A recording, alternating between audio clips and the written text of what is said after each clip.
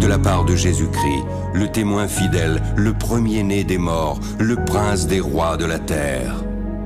À celui qui nous aime, qui nous a délivrés de nos péchés par son sang, qui a fait de nous un royaume, oui, je viens bientôt. Que la grâce du Seigneur Jésus soit avec tous.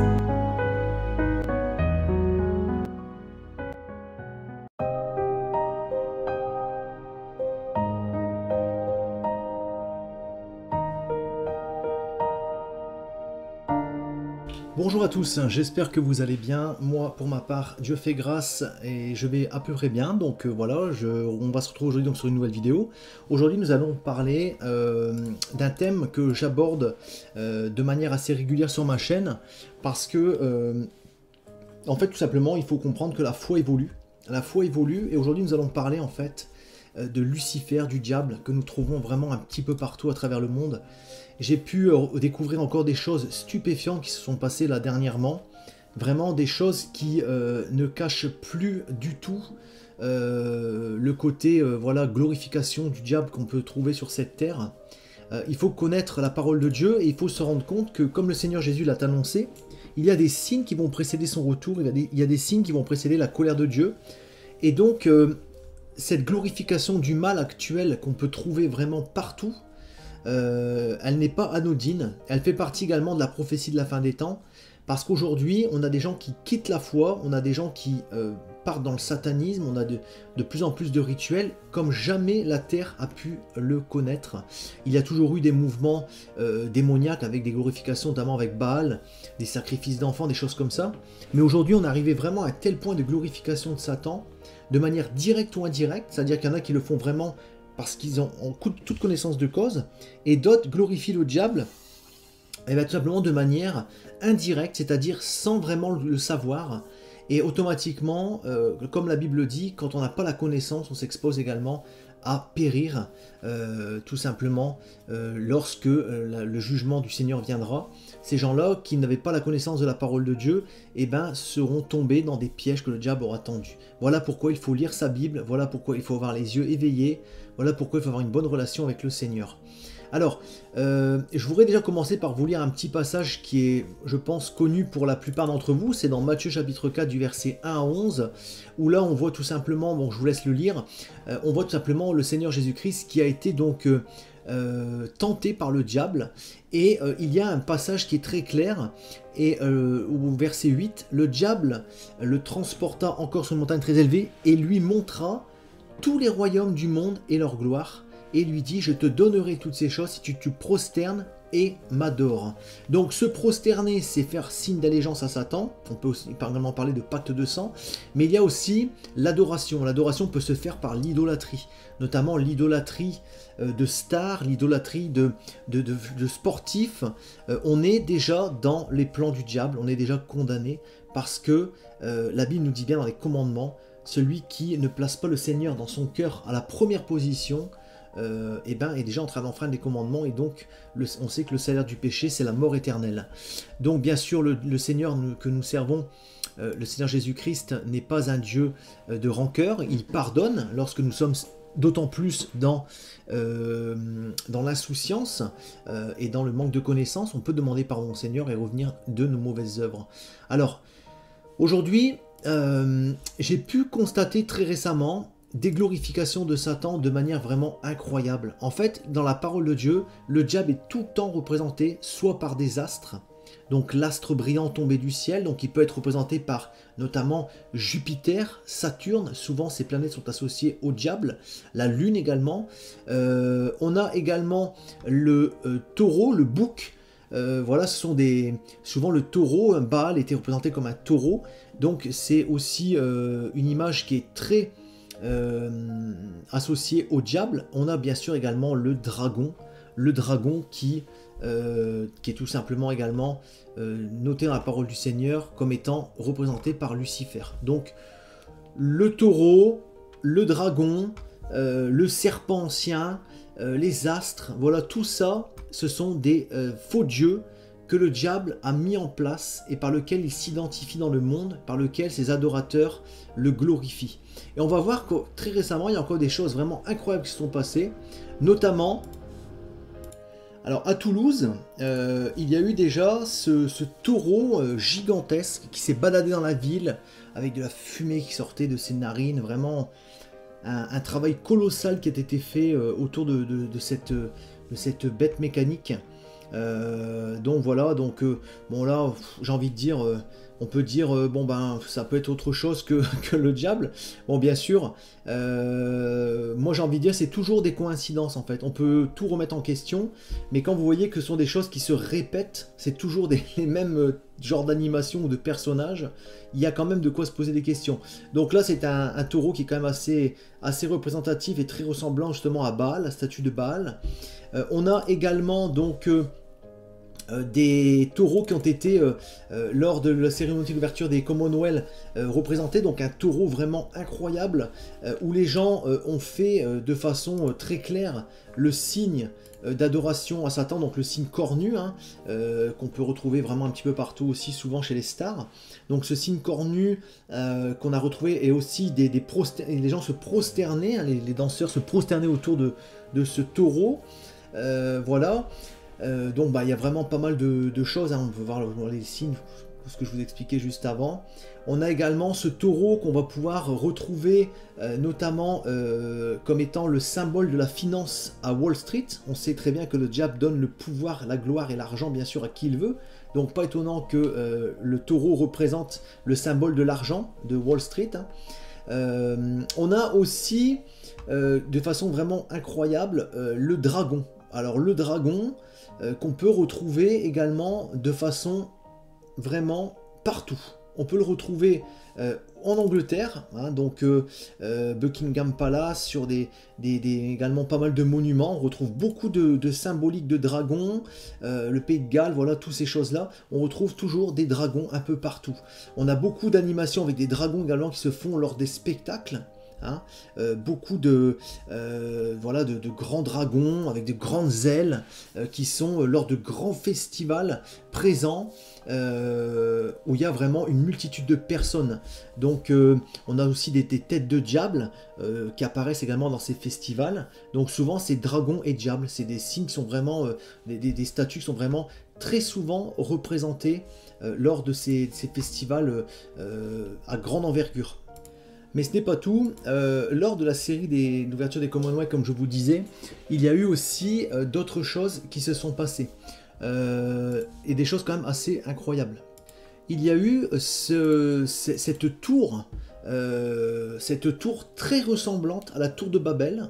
Donc, on présente un taureau comme Baal, on présente une tour qui est représentative également de la tour de Babel, et qui euh, je le rappelle, la tour de Babel était euh, un affront à Dieu et une forme de rébellion pour dire, à Dieu, regarde-nous les hommes, euh, si tu renvoies un déluge, nous monterons plus haut que les eaux et tu ne pourras rien faire contre nous. C'est là que Dieu a pris la décision de disperser l'humanité dans les langues. Et d'ailleurs, les scientifiques aujourd'hui ne peuvent même pas expliquer d'où viennent les langues. Donc, vous voyez qu'il y a quand même des choses qui sont quand même incroyables. Alors, ce qui est merveilleux dans toutes ces glorifications du diable, ce qui est un point positif, c'est que ça montre une fois de plus la véracité de la Bible et de la parole de Dieu.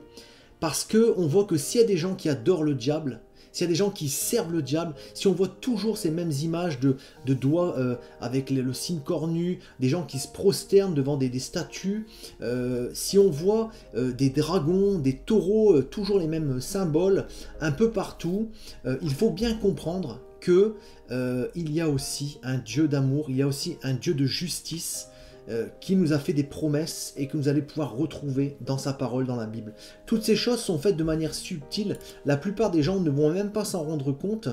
Euh, pourquoi? Parce qu'ils n'ont pas l'ouverture d'esprit spirituel. Ils vivent euh, de manière totalement désintéressée de, de, la foi et du Seigneur et automatiquement ils se laissent avoir par justement ce manque de connaissances. Abby nous en parle également de, ces personnes. Donc c'est triste, il faut vraiment prier pour le monde, il faut vraiment prier pour les gens qui sont encore endormis, parce que c'est notre rôle à nous chrétiens, à nous enfants de Dieu. Voilà ce que je voulais vous dire aujourd'hui. Euh, on a aussi, ben, un petit peu plus ancien, cette ouverture d'un tunnel qui s'est faite euh, en Suisse, où nous avions, de manière, regardez, quand même assez incroyable, des gens recouverts d'un voile, et derrière, une tête de bouc. Euh, voilà, là on peut pas plus clair quoi, on peut vraiment pas plus clair. Et ce voile, j'ai l'impression qu'il s'apparente à un passage qu'on voit voir dans la parole du Seigneur où la Bible nous dit que le Dieu de ce siècle, donc en parlant du diable, le Dieu de ce siècle, Satan, a aveuglé euh, l'humanité euh, d'un voile spirituel qu'ils ont sur leurs yeux pour les empêcher de voir briller la splendeur de l'évangile, qui est la vérité de Jésus-Christ, tout simplement. On a des gens qui ne reconnaissent absolument pas Jésus parce qu'ils sont aveuglés, parce qu'ils ne cherchent pas près Dieu et parce que le diable les tient captifs avec des chaînes spirituelles. Vous savez, dans le monde spirituel, il se passe des choses vraiment euh, incroyables, comme vous allez pouvoir le voir sur cette photo il y a des choses incroyables, il y a des glorifications qui se font euh, envers le diable, euh, et le diable donne des pouvoirs, délègue, euh, voilà, il donne des pouvoirs par exemple à certaines personnalités, qui vont eux déléguer à d'autres personnalités qui ne sont pas forcément au courant qu'ils ont justement des, des, contacts avec, avec l'au-delà et avec le diable. Donc ces gens-là vont exécuter pour de l'argent, pour des biens, pour voilà. Et on a pu voir des témoignages très clairs dans la franc-maçonnerie notamment, où des gens étaient tout simplement euh, achetés hein, à coup de euh, villas dans le sud, à coup de voitures, euh, à coup de Porsche de fonction. et voilà, parce que c'était des gens qui étaient là pour jouer un rôle, donc on les achetait et ils faisaient le rôle et le travail qu'on leur demandait sans broncher, sans discuter. Donc tout ça, c'est ficelé, tout ça, c'est bien entretenu. on vit vraiment une période difficile, il faut, bien s'en rendre compte. Le diable est déchaîné actuellement. Il y a de plus en plus de malheurs, de plus en plus de violence, de crimes, de, tout est en train de vraiment dégénérer. Euh, il y, a vraiment des, choses spectaculaires qui se passent également au niveau des discours des politiques. Donc voilà, sachons que le Seigneur est à la porte. Gardons espoir, prions ardemment pour, euh, pour tous les hommes de la terre, pour la volonté de Dieu. Et euh, voilà, si vous avez des questions, n'hésitez pas dans la barre des commentaires. Je vous dis à très bientôt. Chers frères et sœurs, soyez bénis pour une prochaine vidéo. Tout pouvoir m'a été donné dans le ciel et sur la terre. Il y a plusieurs demeures dans la maison de mon Père. Si cela n'était pas, je vous l'aurais dit, je vais vous préparer une place. Et lorsque je m'en serai allé et que je vous aurai préparé une place, je reviendrai, et je vous prendrai avec moi, afin que là où je suis, vous y soyez aussi. Vous savez où je vais, et vous en savez le chemin. Je suis le chemin, la vérité et la vie. Nul ne vient au Père que par moi. Abraham, votre père, a tressailli de joie de ce qu'il verrait mon jour. Il l'a vu, et il s'est réjoui. Si vous me connaissiez, vous connaîtriez aussi mon père, et dès maintenant vous le connaissez, et vous l'avez vu. Et je vous le dis, avant qu'Abraham fût, je suis. Seigneur, montre-nous le Père, et cela nous suffit. Jésus lui dit, Il y a si longtemps que je suis avec vous, et tu ne m'as pas connu, Philippe. Celui qui m'a vu a vu le Père. Comment dis-tu, montre-nous le Père? Cette bonne nouvelle du royaume sera prêchée dans le monde entier pour servir de témoignage à toutes les nations. Celui qui croira et qui sera baptisé sera sauvé, mais celui qui ne croira pas sera condamné. Je m'étonne que vous vous détourniez si promptement de celui qui vous a appelé par la grâce de Christ pour passer à un autre évangile. Aucun mensonge ne vient de la vérité. Sinon celui qui nie que Jésus est le Christ, celui-là est l'antéchrist, qui nie le Père et le Fils. Quiconque nie le Fils n'a point non plus le Père. Quand un ange du ciel annoncerait un autre évangile que celui que nous vous avons prêché, qu'il soit anathème. Moi, Jésus, j'ai envoyé mon ange pour vous attester ces choses. Je le déclare à quiconque entend les paroles de la prophétie de ce livre. Si quelqu'un y ajoute quelque chose, Dieu le frappera des fléaux décrits dans ce livre. Et si quelqu'un retranche quelque chose des paroles du livre de cette prophétie, Dieu retranchera sa part de l'arbre de la vie et de la ville sainte décrits dans ce livre. Ces paroles sont certaines et véritables. Et le Seigneur, le Dieu des esprits des prophètes, a envoyé son ange pour montrer à ses serviteurs les choses qui doivent arriver bientôt. Et voici, je viens bientôt. Heureux celui qui garde les paroles de la prophétie de ce livre.